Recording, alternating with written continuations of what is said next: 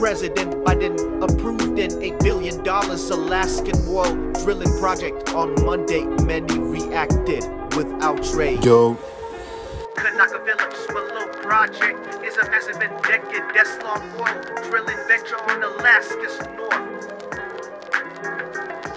yo, What'll happen with animals and the environment there? yo, This is the wrong decision for our climate, future for protecting biodiversity, and for honoring the frontline communities who have raised their voices against this project. yo, This is a huge climate threat and inconsistent with this administration.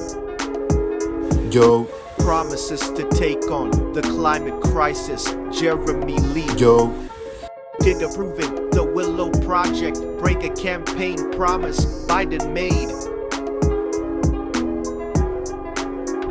yo, The project would cause irreparable harm to the environment, Arctic wildlife, and nearby people who depend on the land for subsistence.